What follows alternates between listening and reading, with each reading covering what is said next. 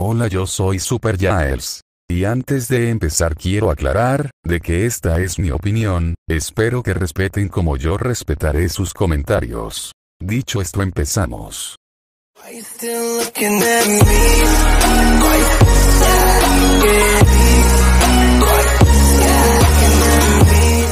Gacha Life por donde empiezo.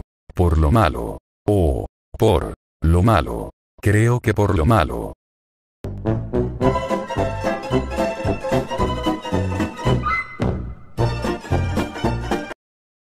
Bueno lo primero de lo que voy a hablar es de lo bueno, del Gacha Life, para poder dejar a un lado lo bueno y pasar ya directamente con lo malo.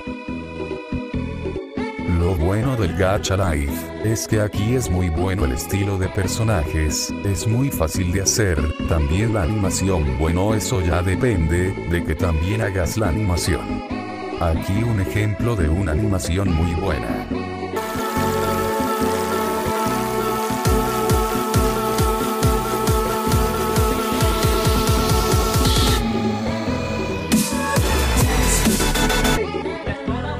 Sí, la verdad no pude encontrar algo más que sea bueno, y si ya veo los dislikes. Bueno lo primero de lo que quiero hablar, es de la disque originalidad. Di casi todos son nombres de la Rosa de Guadalupe, sí, pero no solo eso sino que también hay ideas copiadas, y no falta el típico que no sabe hacer las animaciones, y aún sigue intentando poder crecer de subs, y yo digo, que si no saben hacer las animaciones, porque mejor no intentan otro tipo de contenido. Otra cosa que me caga, son la animación, siendo sincero casi no encuentras animación de calidad, todo está muy de la verga, casi no le ponen empeño, digo hay personas que sí le ponen su voz por lo menos, y le ponen más empeño, a la hora de animar, pero la mayoría hace todo muy de la regalada gana, hasta yo en un Nintendo DS hago mejor animación aquí un ejemplo.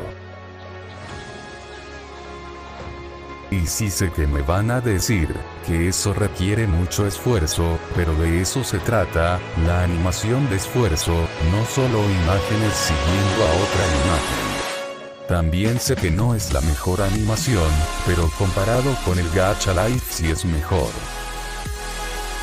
Y ya casi para acabar, es su comunidad, y no estoy diciendo que caigan mal, sino que la mayoría son niños de 9 a 12 años, y para las ideas que ponen si está un poco exagerado como por ejemplo, una del out, que es estando en celo por 24 horas, y la única razón por la que la pongo es porque los hombres no se ponen en celo.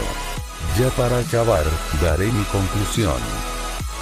Bueno, mi conclusión es, el Gacha Life no es bueno pero, tampoco es malo, lo malo es alguna gente que hace la animación, y eso hace que le den mala reputación. Y por mi parte mi calificación.